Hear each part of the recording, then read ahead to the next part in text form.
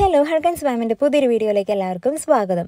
അപ്പോൾ നമ്മുടെ കുഞ്ഞുങ്ങളുടെ ആദ്യത്തെ ഒരു ഫംഗ്ഷൻ വരുമ്പോൾ നമ്മുടെ കുഞ്ഞുങ്ങൾക്ക് ചെറിയൊരു വയ്യാഴി വരുമെന്ന് കാരണവന്മാർ പറഞ്ഞ് ഞാൻ കേട്ടിട്ടുണ്ട് കേട്ടോ അതിൽ എത്രത്തോളം സത്യമൊന്നും എനിക്ക് അറിയാൻ പാടില്ല. പക്ഷേ ഞാൻ ഈ സെയിം ക്വസ്റ്റ്യൻ വെച്ചിട്ട് നേരത്തെ ഷോർട്സ് ഇട്ട് കഴിഞ്ഞപ്പോൾ അതിൽ ഒരുപാട് കമൻസ് വന്നിട്ടുണ്ടായിരുന്നു. അവർക്കും സെയിം അനുഭവം ഉണ്ടായിട്ടുണ്ടെന്നും പറഞ്ഞിട്ട്.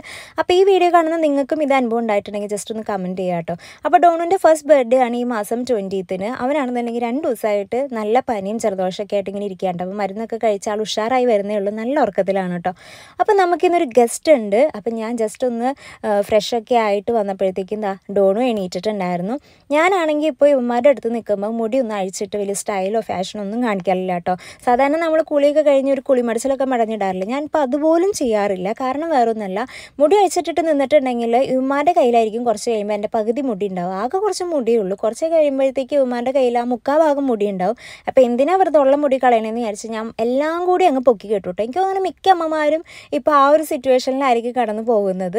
അങ്ങനെ ഞാൻ ഹോളി വന്നപ്പോഴത്തേക്ക് എന്താ ഏതപ്പനും അമ്മാമ്മയും തമ്മിൽ ഭയങ്കര കളിയാണ് അപ്പോൾ ഏതപ്പനോട് രാവിലെ തന്നെ ഞാൻ പറഞ്ഞിട്ടുണ്ടായിരുന്നു ഗസ്റ്റ് വരുന്നുണ്ട് കേട്ടോ മെടുക്കാനായിട്ട് നിൽക്കണം വരുമ്പോൾ തന്നെ ഷേക്ക് ഹാൻഡ് കൊടുക്കണം എന്നൊക്കെ പറഞ്ഞ് പഠിപ്പിച്ച് വെച്ചിട്ടുണ്ടായിരുന്നു. അപ്പോൾ അവരെ വെയിറ്റ് ചെയ്ത് നിൽക്കുകയാണ് കേട്ടോ അവർ ഓൺ ദ വേ എന്ന് പറഞ്ഞിട്ടുണ്ടായിരുന്നു. അപ്പോൾ നമ്മുടെ ഗസ്റ്റ് വേറെ ആരുമല്ല അനുചേച്ചിയാണ് കേട്ടോ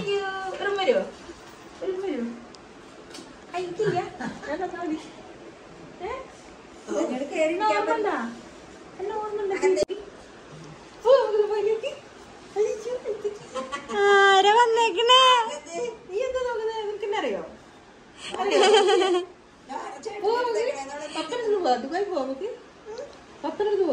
കണ്ടിട്ട് മനസ്സിലായില്ല. അന്റെ പൊന്നെ. നിനക്ക് മനസ്സിലായ ആരാന്ന്?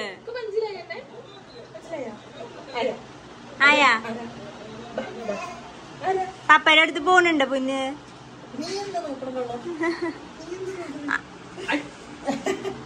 വായോ? കുഞ്ഞൻ കുഞ്ഞൻ. നീ നിന്റെ പോയില്ല. ഇത് ഡോണിന് കൊടുക്ക്.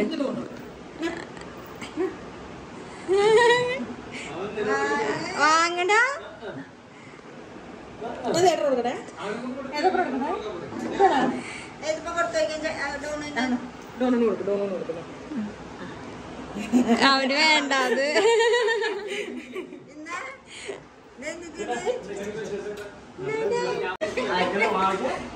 അതാ അതാ വാവയ്ക്ക്.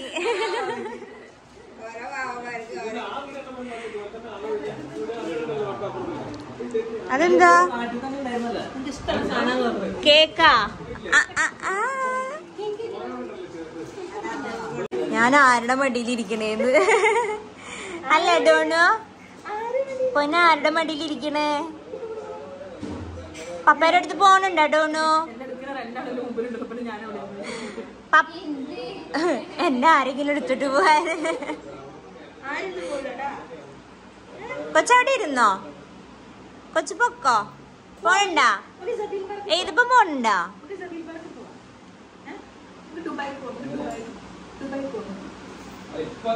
പോണണ്ടാ? നോക്കണട്ടാ ചുറ്റിന് നോക്ക. ഒരാളത് ഇവിടെ എക്സ്പ്രഷൻ ഇട്ട് തകർക്കണ്. ഇതപ്പ കൊച്ച്?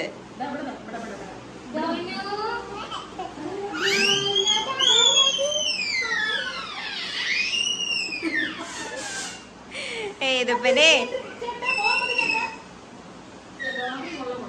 ആ.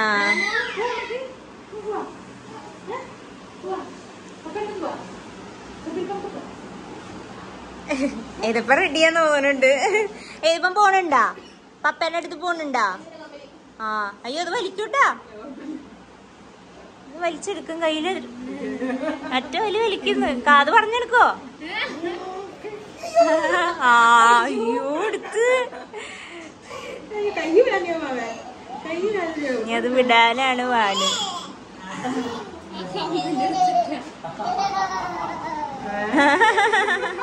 ഭയങ്കര സന്തോഷത്തിലാണല്ലോ നീ.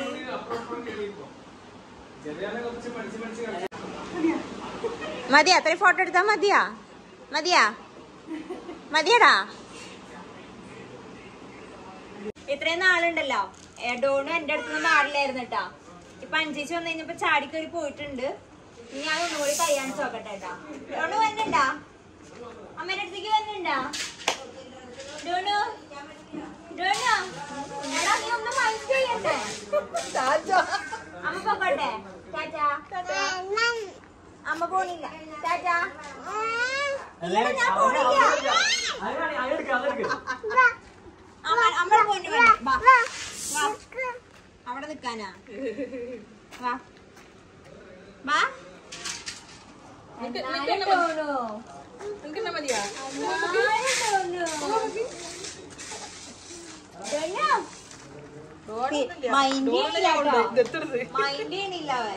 ആ ചേട്ടാ.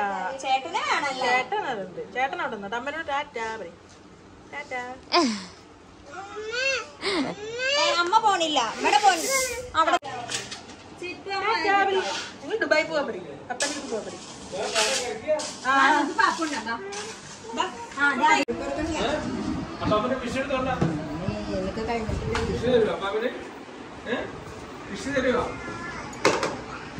കപ്പയുടെ സ്പെഷ്യൽ കപ്പ.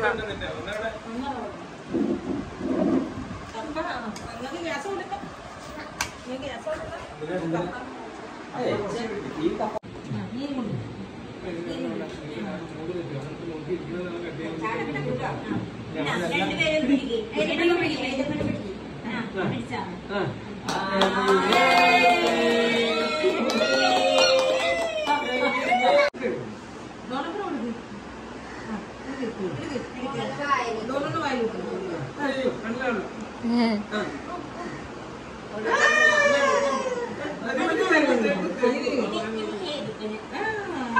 ഡോണിന്റെ ബർത്ത്ഡേക്ക് ചേച്ചി ഉണ്ടാവില്ല എന്ന് മുൻകൂട്ടി മനസ്സിലാക്കിയതുകൊണ്ട് തന്നെ ചേച്ചി ഒരു കേക്കൊക്കെ ആയിട്ടാണ് വന്നിട്ടുണ്ടായിരുന്നു അങ്ങനെ കേക്കൊക്കെ കട്ട് ചെയ്ത് ഹാപ്പി ആയിട്ട് ഇതാ അവരിറങ്ങാൻ നിൽക്കാണ് കേട്ടോ. സാധാരണ ചേച്ചി നാട്ടിലെത്തിയിട്ടുണ്ടെങ്കിൽ ഞങ്ങളെ കാണാൻ വേണ്ടിയിട്ട് കോഴിക്കോട് നിന്ന് തൃശ്ശൂർ വരെ വരാറുണ്ട്.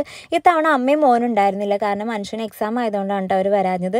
ചേച്ചി മെയിനായിട്ട് വന്നത് ഏതപ്പനെയും ഡോണൂനെയും കാണാനാണ് കേട്ടോ. ഏതപ്പനും ചേച്ചി തമ്മിൽ പ്രത്യേക ബോണ്ടാണ് കാരണം ഞാൻ ഏതപ്പനെ പ്രഗ്നന്റ് ആയത് ദുബായിൽ വെച്ചിട്ടാണ്. അപ്പോൾ പ്രഗ്നന്റ് ആണെന്ന് അറിഞ്ഞ സമയത്ത് തന്നെ എന്നെ ഹോസ്പിറ്റലിൽ കൊണ്ടുപോകാനും കാര്യങ്ങൾക്കൊക്കെ ചേച്ചിയാണ് ഓടി വന്നിട്ടുണ്ടായിരുന്നത്. കാരണം നമ്മുടെ പാരൻസ് ആരും ആ സമയത്ത് ഉണ്ടായിരുന്നില്ല. ഞാനും ചാച്ചനും മാത്രമേ ഉണ്ടായിരുന്നുള്ളൂ. പോരാത്തതിന് ഫസ്റ്റ് പ്രഗ്നൻസിയാണ് അപ്പോൾ എന്താ എങ്ങനെയാണെന്നൊന്നും നമുക്കറിയാൻ പാടില്ല. അപ്പോൾ എന്തൊരു ആവശ്യത്തിന് വിളിച്ചു കഴിഞ്ഞാലും ചേച്ചി ഓടിയെത്തുമായിരുന്നു. അതേപോലെ തന്നെ ചാച്ചന്റെ കുറേ ഫ്രണ്ട്സ് ഉണ്ടായിരുന്നു. അവരൊക്കെ ഓടിയെത്തുമായിരുന്നു കേട്ടോ. പിന്നെ ഞാൻ എന്റെ ലൈഫിൽ മറക്കാത്തൊരു കാര്യം എന്ന് പറഞ്ഞിട്ടുണ്ടെങ്കിൽ ആദ്യത്തെ ഒരു മൂന്ന് നാല് മാസം എനിക്ക് നിന്ന് നിപ്പിൽ ഛർദിയായിരുന്നു കേട്ടോ. ആ ഛർദിച്ച് മെഴുകിയിരിക്കുന്ന സമയത്ത് ഒരു വ്യക്തി എന്റെ അടുത്ത് ഞാൻ കേൾക്കെ പറഞ്ഞൊരു കാര്യമാണ് കേട്ടോ. ഇവൾക്ക് എപ്പോഴും ഛർദിയാണോ? ഛർദിയാണെങ്കിൽ നോക്കണ്ട. ഒന്നല്ലെങ്കിൽ അമ്മ അല്ലെങ്കിൽ കുഞ്ഞ്. അല്ലെങ്കിൽ ചിലപ്പോൾ രണ്ടുപേരെയും കിട്ടില്ല. ചിലപ്പോൾ ഒരാളെ കിട്ടുള്ളൂ എന്ന്. ഏത് നമ്മളെ അവശ നിലയിൽ നിൽക്കുമ്പോൾ നമ്മളെ സമാധാനിപ്പിക്കേണ്ട നമ്മൾക്ക് വേണ്ടപ്പെട്ട ഒരു വ്യക്തി ആയിരുന്നു അയാൾ. പക്ഷേ ഈ ഒരു ഡയലോഗ് അടിച്ചതിന് ശേഷം ഞാൻ കോലൊടിച്ചിട്ടു കേട്ടോ. ഞാൻ എവിടെയോ വായിച്ച് കേട്ടിട്ടൊക്കെ ഉണ്ട്. അതായത് നമ്മൾ ഗർഭിണിയായിരിക്കുന്ന സമയത്ത് നമ്മൾ എങ്ങനെയാണോ പരിപാലിച്ചത്? അത് ചിലപ്പോൾ മോശമായാലും നല്ലതായാലും ആ പരിപാലിച്ചത് എങ്ങനെയാണോ? നമ്മളോട് പെരുമാറിയത് എങ്ങനെയാണോ? അത് ലൈഫ് ലോങ് നമ്മുടെ ഉള്ളിൽ ഇങ്ങനെ കിടക്കുമെന്നുള്ളത്. അത് വളരെ സത്യമായിട്ടുള്ള ഒരു കാര്യമാണ് കേട്ടോ ഞാനത് അനുഭവിച്ചൊരു വ്യക്തി ആയതുകൊണ്ടാണ് പറയണത്. എന്നെ പോലെ അനുഭവിച്ച ആരെങ്കിലും ഉണ്ടെങ്കിൽ ജസ്റ്റ് ഒന്ന് കമന്റ് ചെയ്യണം കേട്ടോ അങ്ങനെയും അനുഭവിച്ച കുറേ പെൺകുട്ടികൾ ഉണ്ടാവും കേട്ടോ കാരണം നമ്മൾ അത്രയും സന്തോഷിക്കുന്ന സമയത്ത് ഇതുപോലത്തെ വേണ്ടാതിനെ വർത്തമാനം പറഞ്ഞു വരുന്നവരൊക്കെ അങ്ങ് കോലൊടിച്ചിട്ടേക്കണം. ഞാൻ അങ്ങ് കോലൊടിച്ചിട്ടിട്ടോ അപ്പോൾ ഈ സമയത്ത് ഇതും കൂടി കേട്ട് കഴിഞ്ഞപ്പോൾ ഞാൻ ശരിക്കും ഡൗൺ ആയി പോയായിരുന്നു. ദൈവം ഞാൻ അപ്പോൾ ആലോചിച്ചത് എന്റെ കുഞ്ഞിന് എന്തെങ്കിലും വരും. ഞാൻ ഛർദ്ദിക്കുന്ന കാരണം എന്റെ കൊച്ചിന് എന്തെങ്കിലും പറ്റുമോ എനിക്ക് പറ്റിയാലും കുഴപ്പമില്ല. എന്റെ കൊച്ചിനൊന്നും പറ്റില്ലേ എന്നുള്ള പ്രാർത്ഥനകളൊക്കെയാണ് ഞാൻ ആ സമയത്ത് നിന്നിട്ടുണ്ടായിരുന്നത്.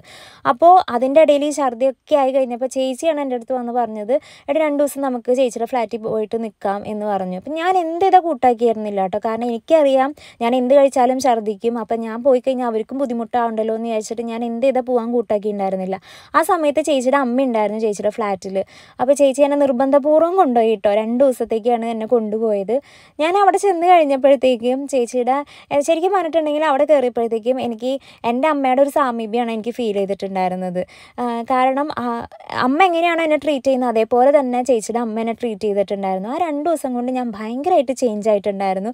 ശരിക്കും പറഞ്ഞിട്ടുണ്ടെങ്കിൽ അതൊരു മറിമായം തന്നെയാണ് കേട്ടോ. കാരണം ഞാൻ അവിടെ ചെന്ന ദിവസം തൊട്ട് പിന്നെ ഞാൻ അങ്ങോട്ട് ഛർദ്ദിച്ചിട്ടേ ഉണ്ടായിരുന്നില്ല എന്നുള്ളതാണ് എനിക്ക് അത്ഭുതമായിട്ട് തോന്നിയൊരു കാര്യം എന്ന് പറഞ്ഞിട്ടുണ്ടെങ്കിൽ അപ്പോൾ നമ്മളെ സ്നേഹിച്ചിട്ടുണ്ടെങ്കിൽ നമുക്ക് തിരിച്ച് സ്നേഹിക്കാനുള്ള ആ ഒരു മൈൻഡൊക്കെ വരും. അതല്ല നമ്മളെ നമ്മൾ സന്തോഷിക്കേണ്ട സമയത്ത് നമ്മളിട്ട് ദ്രോഹിക്കുകയാണെന്നുണ്ടെങ്കിൽ പിന്നെ ആ വഴിക്ക് തിരിഞ്ഞു നോക്കേണ്ട ആവശ്യമില്ല എന്നാണ് എനിക്ക് പറയാനുള്ളത്. അതിപ്പോൾ നമുക്ക് എത്ര വേണ്ടപ്പെട്ട ഒരാളായാലും നമ്മളുടെ കുഞ്ഞിനെതിരെ പറയുക അല്ലെങ്കിൽ നമുക്കെതിരെ നമുക്കിപ്പോൾ എതിരെ പറഞ്ഞു കഴിഞ്ഞാലും ഒന്നുമില്ല. പക്ഷേ പുറം ലോകം കാണാത്ത കുഞ്ഞിനെ വരെ പറയുന്ന മനസ്സുള്ള വ്യക്തികളുടെ പിന്നെ നമ്മളിങ്ങനെ എന്താ പറയുക പിന്നെ പിന്നെ താങ്ങി പോകേണ്ട ആവശ്യം ഉണ്ടെന്ന് എനിക്ക് തോന്നുന്നില്ല. അപ്പോൾ അതൊക്കെയാണ് എനിക്ക് ചേച്ചിയും ചേച്ചിയുടെ അമ്മയും അച്ഛനും ഒക്കെ ആയിട്ടുള്ള ആ ഒരു അറ്റാച്ച്മെന്റ് എന്ന് പറയാനായിട്ടുള്ളത്. എനിക്കായാലും ചാച്ചനായാലും ഞങ്ങളുടെ ആ ഒരു ഗ്യാങ് ഫുള്ളായാലും ഭയങ്കര ഒരു അറ്റാച്ച്മെന്റാണ് ഞങ്ങളുടെ ആ ഒരു ഫാമിലി എന്ന് പറഞ്ഞിട്ടുണ്ടെങ്കിൽ ഓക്കെ അപ്പോൾ അവർ പോയതിന് ശേഷമുള്ള പരിപാടികളുണ്ട് ഞാൻ കുറച്ച് കഥകൾ ഇങ്ങനെ പറഞ്ഞ് പറഞ്ഞ് ഇങ്ങനെ ഇവിടം വരെ എത്തി. അപ്പോൾ ഇതാ അവർ പോയതിന് ശേഷമുള്ള കലാപരിപാടികളാണ് നിങ്ങളിപ്പോൾ ഈ കണ്ടുകൊണ്ടിരിക്കുന്നത്. ഹേതപ്പന്റെയും ഡോണുവിന്റെ ഡോണുവിനാണെന്നുണ്ടെങ്കിൽ വാക്കറ് കിട്ടിക്കഴിഞ്ഞിട്ടുണ്ടെങ്കിൽ അവൻ പിന്നെ നൂറേ നൂറിലങ്ങ് ഓടും കേട്ടോ അവന്റെ പിന്നാലെ ഏതപ്പനും ഓടും. ഏതപ്പനാണെന്നുണ്ടെങ്കിൽ ഡോണു വാക്കറിൽ വരുമ്പോഴത്തേക്കും അമ്മ അതേ ഡോണു വരുന്നു ഡോണു വരുന്നെന്നും പറഞ്ഞിട്ട് എവിടെയാണോ കയറി പിടിക്കാൻ പറ്റുക അവിടെ കയറി പിടിക്കും കേട്ടോ. ഇപ്പോൾ അതേ ആ ഡോണുവിനെ കണ്ടു കഴിഞ്ഞപ്പോഴത്തേക്കും ചെരുപ്പ് പോലും ഊരാണ്ട് എന്റെ കട്ടിലേക്ക് കയറിയേക്കാണ് കേട്ടോ. അങ്ങനെ ഡോണൊന്ന് ഉഷാറായിട്ട് വരുന്നതേ ഉള്ളൂ. കണ്ണൊക്കെ ഒന്ന് തുറന്നു വരുന്നുള്ളൂ കേട്ടോ ഇത്രയും ദിവസം കണ്ണിൽ നിന്നൊക്കെ കുടുകുടാന്ന് ഇങ്ങനെ വെള്ളം വീണുകൊണ്ടേ ഇരിക്കുകയായിരുന്നു അപ്പോഴത്തേക്കും പിന്നെ എന്താ ഡോണും ചേട്ടനും തമ്മിലുള്ള ചെറിയ ചെറിയ കളിയും ചിരിയും അവസാനം അതൊരു മാന്തലിലെത്തും എന്നുള്ള കാര്യം എന്താ മാന്താൻ വേണ്ടിയിട്ടാണ് അവൻ ചുണ്ട് കുറിപ്പിച്ച് വരുന്നത്. അങ്ങനെ ഒരു മാന്ത് കിട്ടിയിട്ടുണ്ടായിരുന്നു. അപ്പോൾ വൈകുന്നേരം ചായക്ക് അമ്മ നല്ല ഈ മധുരക്കിഴങ്ങ് പുഴുങ്ങിയിട്ടുണ്ടായിരുന്നു കേട്ടോ അപ്പോൾ കുറേ നാൾക്ക് ശേഷമാണ് ഞങ്ങൾ മധുരക്കിഴങ്ങ് കിട്ടിയത്. അപ്പോൾ മധുരക്കിഴങ്ങ് കിട്ടിയപ്പോൾ തന്നെ ഒരു സന്തോഷമായിട്ടോ കാരണം കുറേ നാൾക്ക് ശേഷം ഒരു നമ്മൾ ഇഷ്ടപ്പെടുന്ന ഒരു ഫുഡ് കിട്ടുക എന്ന് പറഞ്ഞിട്ടുണ്ടെങ്കിൽ അത് വേറൊരു വൈബ് തന്നെയല്ലേ. അപ്പോൾ അതൊക്കെ കഴിച്ച് നിൽക്കുകയാണ് അപ്പോൾ ഡോണിന് കൊടുത്തു കഴിഞ്ഞപ്പോൾ ഡോണിന് തീരെ ഇഷ്ടപ്പെടില്ല. പ്രത്യേകിച്ച് ഇങ്ങനെ വയ്യാണ്ടിരിക്കുന്ന സമയമാണെന്നുണ്ടെങ്കിൽ പിന്നെ പറയണ്ടല്ലോ. ഒരു സാധനം കഴിക്കില്ല. അല്ലെങ്കിൽ ഒരു സാധനം കഴിക്കലില്ല. വയ്യാണ്ടിരിക്കുകയാണെന്നുണ്ടെങ്കിൽ പിന്നെ ഒട്ടും കഴിക്കില്ല എന്നുള്ള ഒരു വാശിപ്പുറത്താണ് ഡോൺ ഇരുന്നത്.